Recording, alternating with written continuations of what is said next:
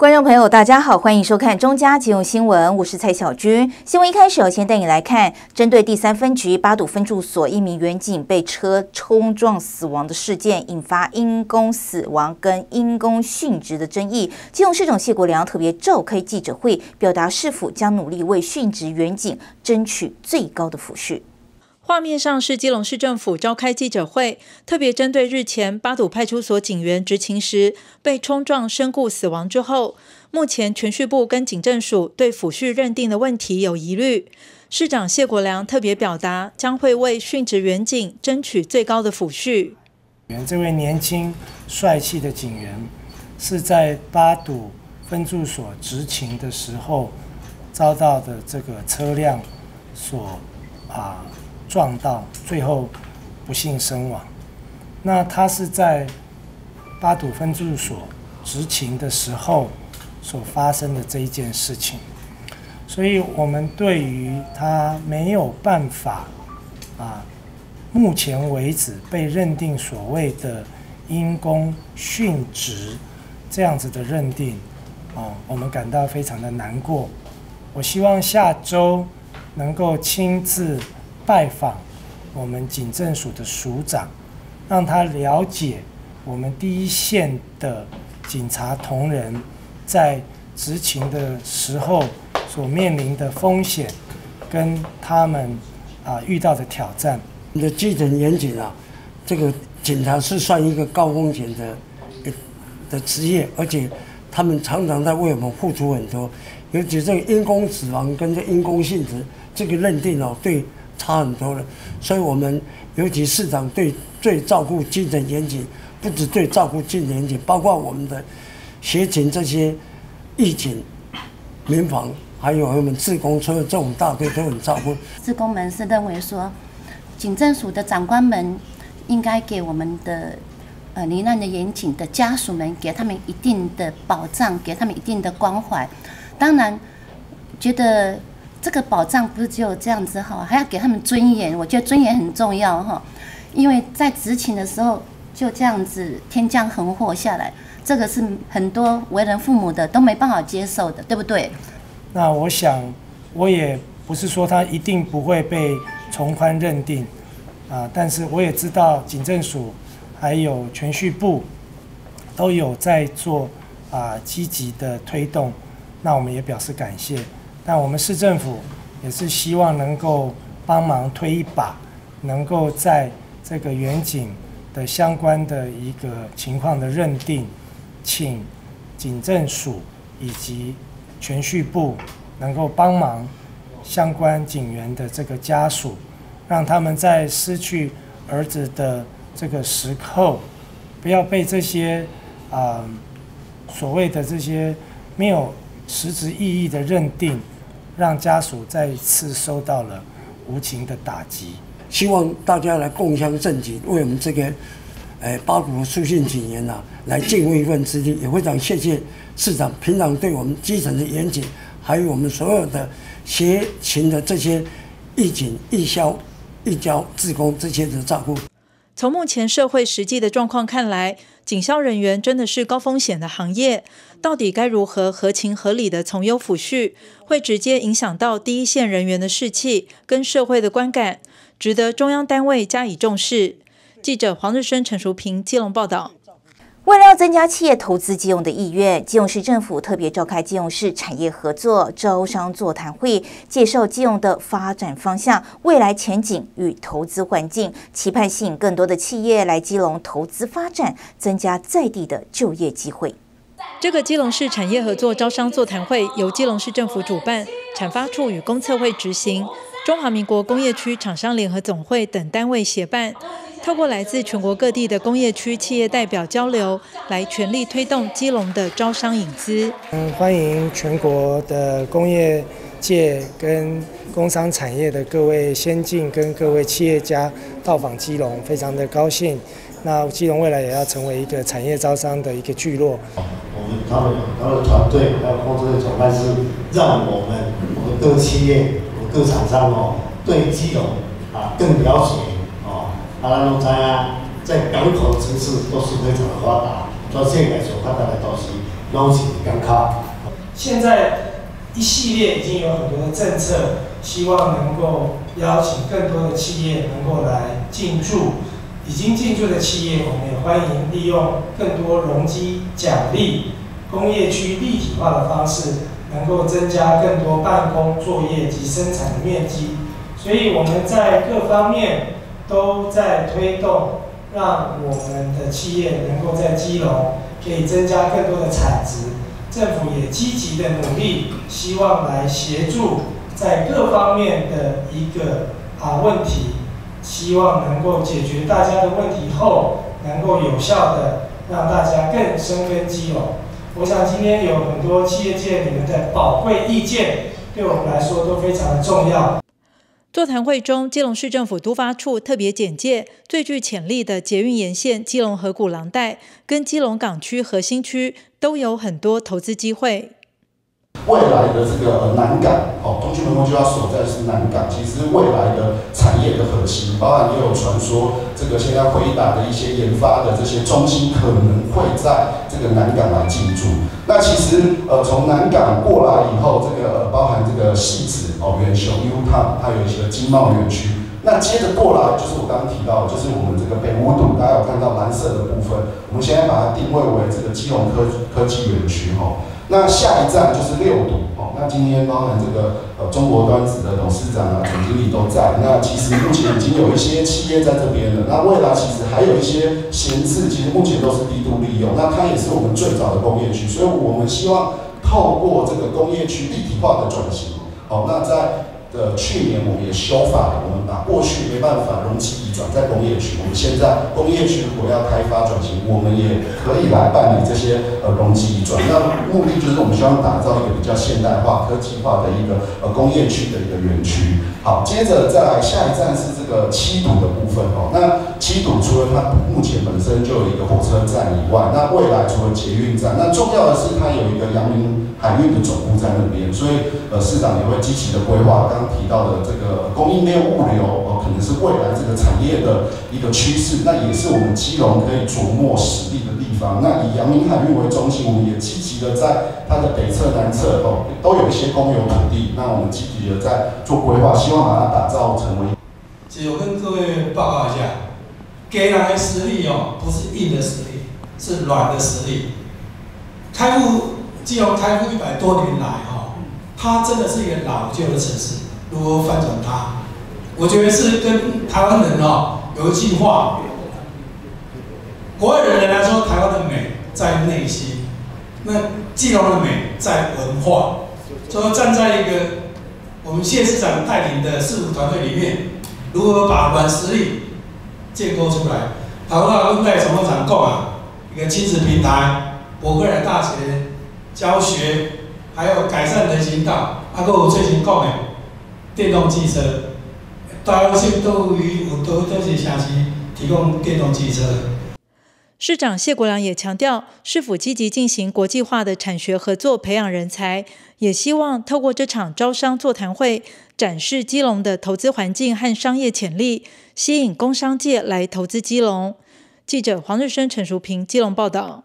七都永平里里长黄朝嘉特地和财团法人基督教中华信望爱基金会合作办理叠古巴特手做零钱包的活动，免费邀请里内的银发长辈以及国小学生共学共融。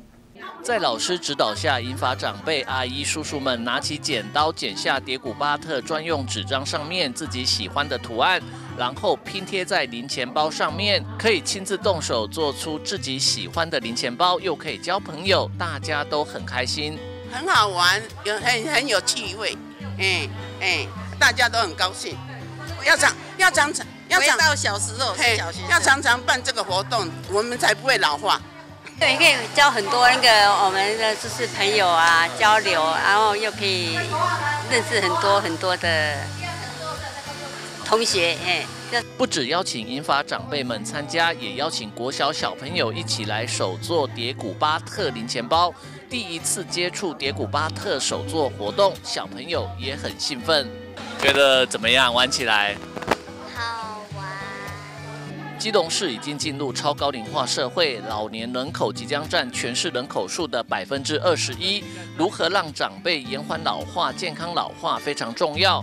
因此，基督区永平里长黄朝家特地和财团法人基督教中华信望爱基金会合作，邀请徐敏燕和郑秀兰两位老师，在李明活动中心办理叠古巴特手做零钱包的活动，免费邀请里内银发长辈以及国小学生共襄盛举，让银发长辈们动手动脑交朋友，延缓老化，同时祖孙共学共荣，活化社区气氛。对，我们也非常希望是这样子啊，让那个祖孙三代可以大家一起出来哈，利用暑期的时间哦，大家聚在一起哦。以后我们永明里会更开阔一些，会开一些比较户外的课程，让大家啊阿公阿妈啦、爸爸儿子他们都有互动。哦，非常感谢，谢谢。这项活动也受到基隆市议会副议长杨秀玉的大力支持和称赞。杨秀玉也秀出自己亲手做的叠古巴特零钱包。呃，秀玉特别到我们这个呃七土区的社区哈，来跟一些婆婆妈妈，也是我们的一些资深美魔女哦，共同来打造这个小包包。我觉得这个小包包真的非常的好。我们知道现在这个呃社会已经是超高龄化社会哦，那我们这个其实各里的里长都非常的用心哦，都会呃就是有一些元素呃注入在社区哈，那请我们这些婆婆妈妈出来走出来，那走出来做各种不同的一些活动。那今天就是这个叠骨。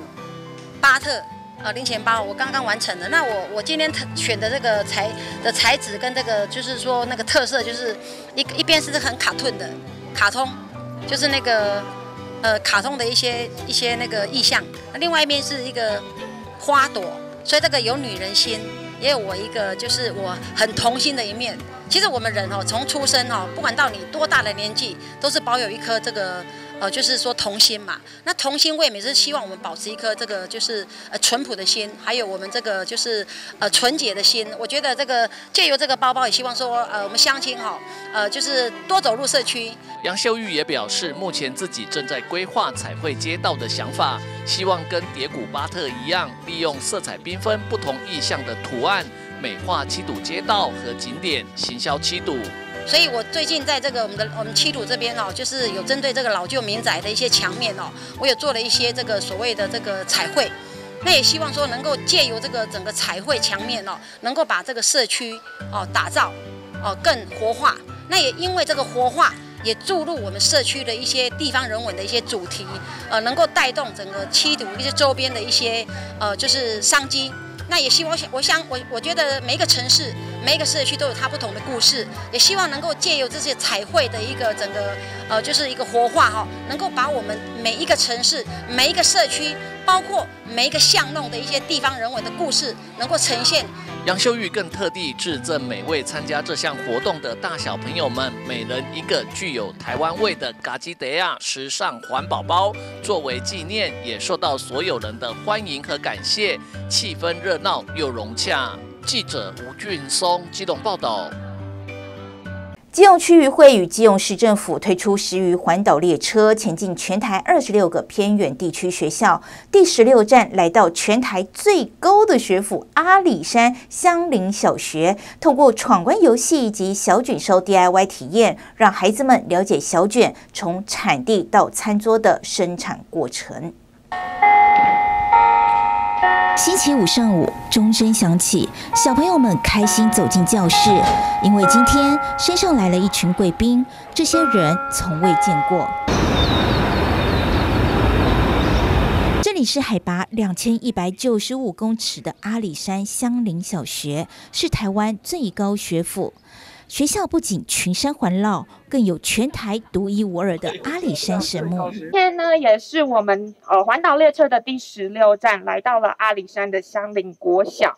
来自台湾最北端的基隆区域会，在简单介绍后，就让孩子们进行食鱼教育的体验。那接下来呢，我们找找看它的头在哪里。这是他的眼睛，所以我们才知道它的头在这里，对不对？头一次摸到小卷，触感软绵绵的，孩子们好惊喜。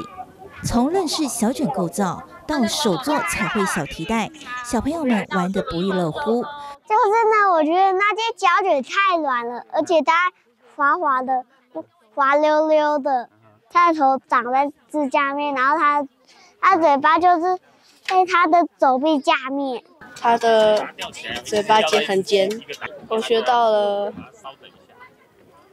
它是从哪里？来的，在阿里山神木旁，基隆区渔会十余环岛列车第十六站抵达嘉义阿里山乡林国小，让偏乡地区的孩子也能感受到海的味道。到了这个全国最高学府，我们阿里山的这个乡林国小，哦，它标高是一千九百六十五啊，这个海拔。那这里的小朋友啊，山林里面各种的这个山上的资源。很多很丰富，但是平常比较少接触到我们的海洋生物生态以及渔业，所以说啊，基隆区域会啊，今天特别将我们目前在地正盛产的啊这个小卷呢啊，马带到我们山上来，来跟小朋友更认识我们的小卷它的生态生活的状况，同时来做示范料理，让他们做 DIY，认识我们的渔业啊，这个是我们办理全国渔民节的活动。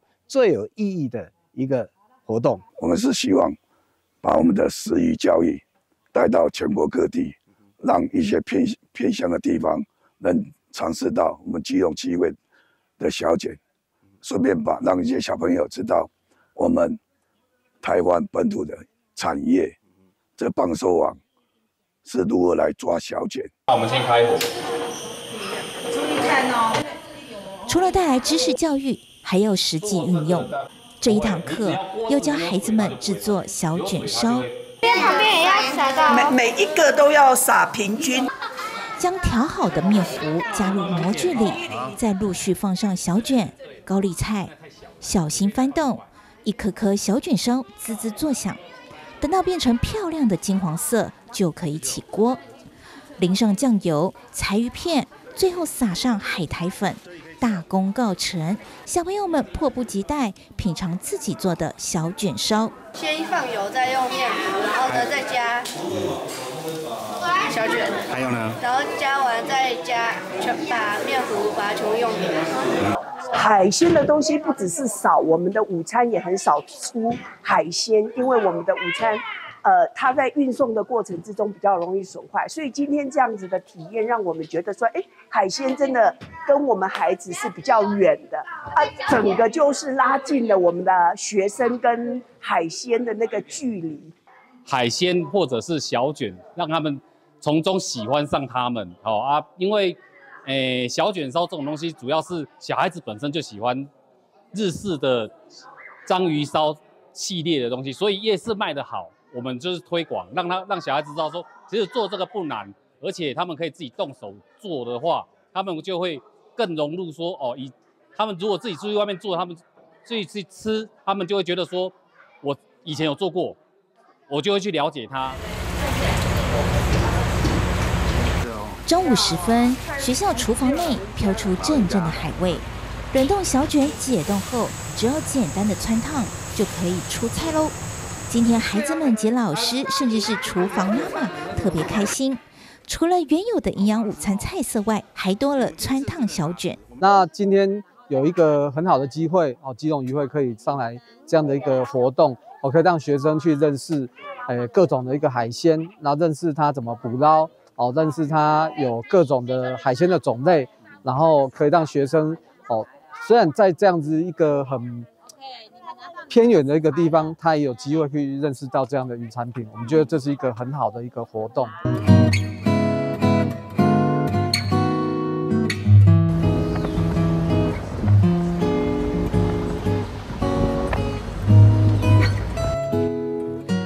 区域会与基隆市政府联手推动十余环岛列车计划，前进全台二十六个偏乡地区的学校。不但把锁管带入校园，更要让孩子们了解渔业文化与经济价值。我想这是全国第一次，我们这一次也是尝试做看看。我们希望把海洋倒带带到山上，把海洋文化、把这些渔业、把这些鱼种、把这些好吃的海鲜带到偏乡、带到山上，让这些山上的小朋友也知道什么是鱼，什么是小茧。什么是虾子，让他们更了解海洋。十余环岛列车从基隆起航，跨越山岭，行程累计三百四十九公里，将食鱼教育的理念带到全台海拔最高的学府。十余环岛列车以其独特的方式，将海洋教育与饮食文化紧密结合，逐步实现提高全民对海洋资源认知和重视的目标，为台湾的海洋教育事业贡献一份力量。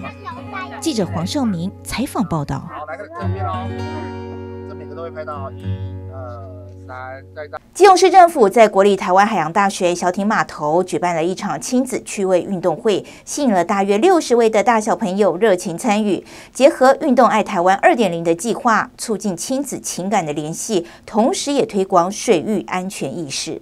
哦，好好玩哦！真的好好玩！在海上举办的趣味运动会，采用亲子接力赛的方式进行，从穿救生衣游泳到徒手 SUP 滑行，紧接着要亲子独木舟，最后要团队龙舟板前进。那我们过去常年以来在运动爱台湾，大部分都是做水的，那这一次就是把啊水安全跟运动竞技加在一起，然后把亲子也加在一起，那也让暑假的活动更精彩，也让我们基隆市的运动爱台湾的面向能够更广阔。以乐趣化的方式进行水上接力赛，结合运动爱台湾二点零的计划，在海洋大学小艇码头登场。SUP 溜滑梯，溜滑梯，但是那个溜滑梯溜下去超级世界就就不见得，所以我觉得非常好玩。每个关卡的设计都充满了趣味，也非常考验大小朋友的协作能力，更能实践合作学习的教育理念，同时也能提倡水域安全的重要性。记者崔小军，基隆报道。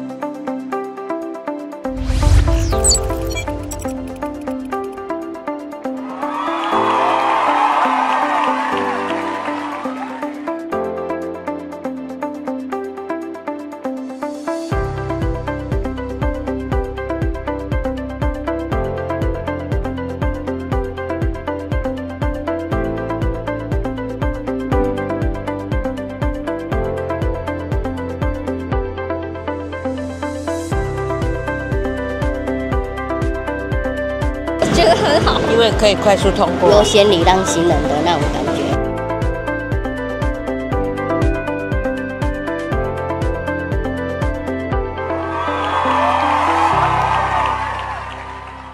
哇，这款酒好美又特价，刚好可以买来下周末的舞会上喝。等等，在网络、邮购、自动贩卖机、无人商店等地方买卖烟酒，没办法知道买东西人的年龄，所以是禁止的哟。什么？还要罚钱？嗯，疑似有烟酒未依法贩售，可拨打检举专线零八零零八六七八九零。还有还有，购买酒类时，酒瓶上有这个优质酒类认证的标章，就会更有保障哟。网络进香烟酒，优质酒类认证有保障。基隆市政府提醒您。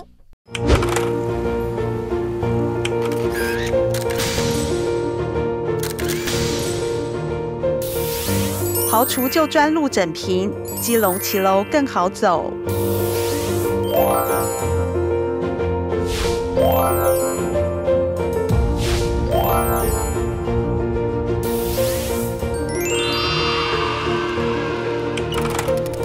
打造以人为本的城市。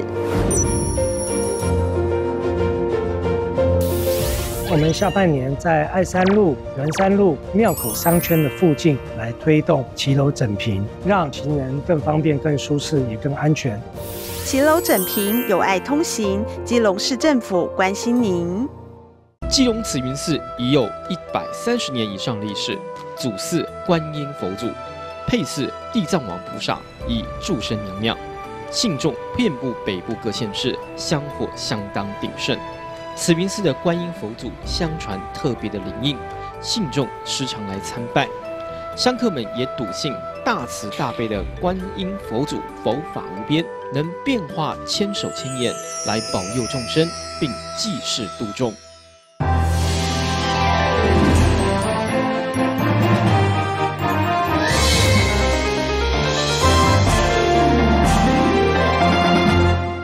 隆二沙湾炮台是著名的国定古迹，被称为海门天险。从中正路山下有串联步道直通上炮台，每天都有许多游客前往运动。不过就有民众陈情哦，这个扶手步道潮湿腐朽、破损不堪，还长满了青苔。一起来关心。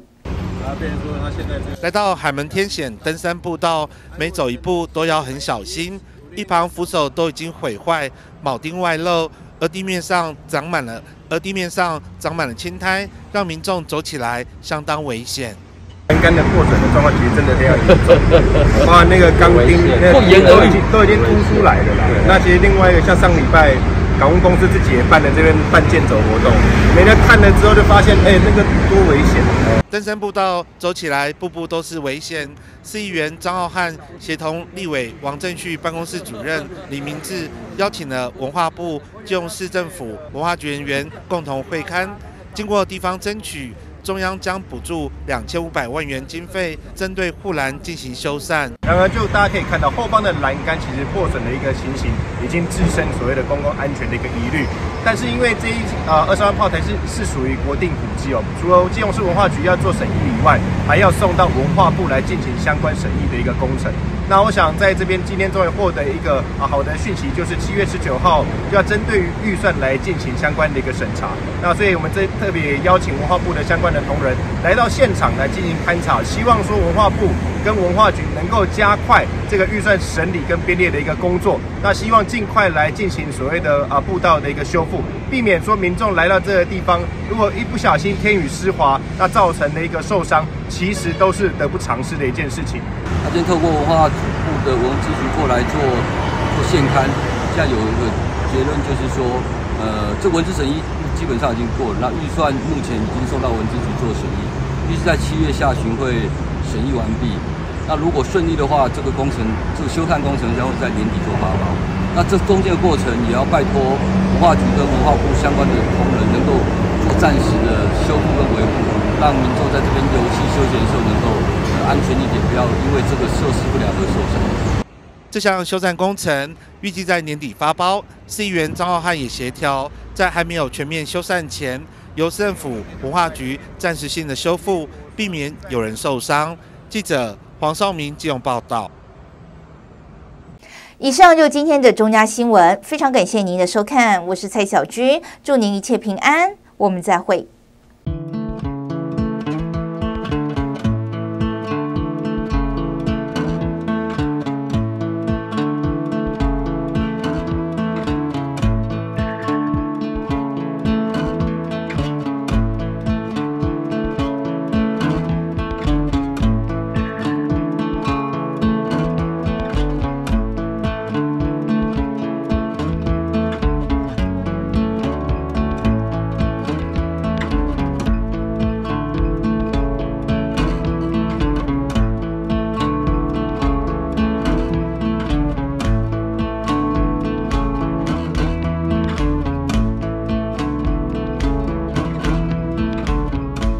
知道基隆市政府各单位正在推动哪些重要政策、大型活动或是社会福利措施吗？关心市政自会来节目特别邀请了产官学界来讨论各项政策最新发展，也欢迎民众表达意见，让市民可以快速掌握基隆脉动。欢迎锁定每周三晚上九点基隆第四频道，关心市政奏回来。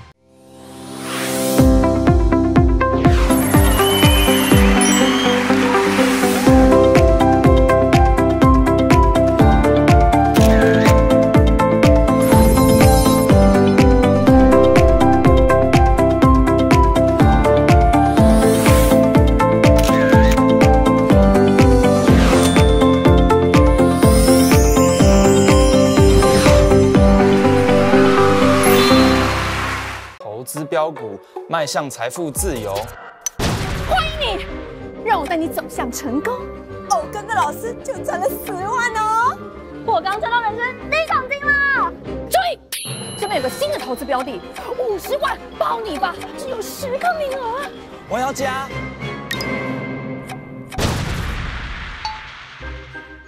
网络投资陷阱多，稳赚不赔是诈骗。欢迎拨打一六五反诈骗专线查询。